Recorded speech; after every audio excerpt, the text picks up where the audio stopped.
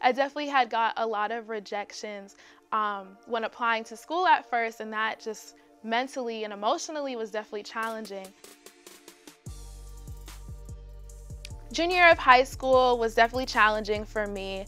Um, it was the first year that I had failed a class ever in my life, and um, my GPA just was brought it definitely was lower than it had ever been. And I was getting told from my college counselors that I should apply to community college, I should stay in state, I should just really consider schools that were kind of closer to home um, that I could get into and that would be um, more economically fit, I guess. Um, but for me, I always had dreams of going to a big school.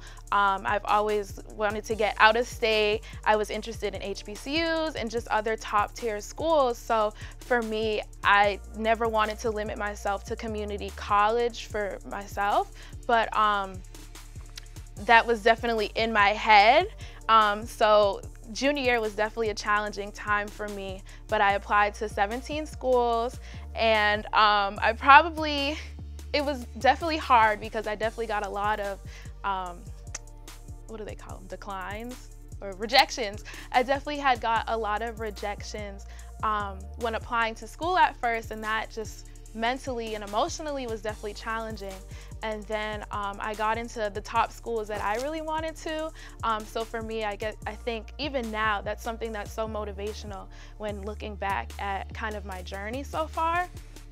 Um, so I think um, what for me, despite my lower GPA, um, I was able to really kind of focus and study for the SATs and I think that was something that was helpful to me. So now when I talk to um, students back home or students that I'm mentoring, I always tell them you can go to your top schools, the HBCUs that are leading on your list, any of that, you just have to kind of um, show that you're a holistic person. So whether you're into an extracurricular, whatever you're passionate about, kind of do your best at that and schools will see that. So for me, I was an entrepreneur and I had started a business at 16. So I was able to highlight on that and um, kind of my journey through my entrepreneurial experience and also um, really work and focus on my SAT scores. And in turn, I was able to get into Spelman College, but it was definitely something that was a challenge, but it was well worth the challenge. And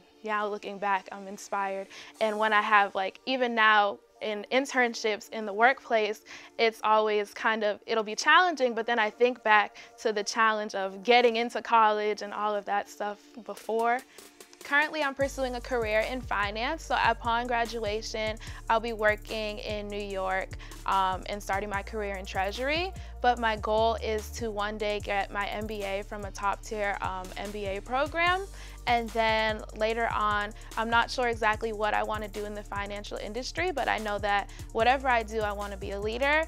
And I know that it's important to me to give back. So um, I want to start a mentorship program for um, getting more young black women in finance because right now there's the numbers are still uh, increasing but still very low. So um, working on girls in middle school so that they're not only learning about finance and the importance of finance, but also learning that there's careers in finance. So um, not only are we aspiring to be doctors and lawyers, but we're also learning to be accountants and the important things that um, we also need in everyday life.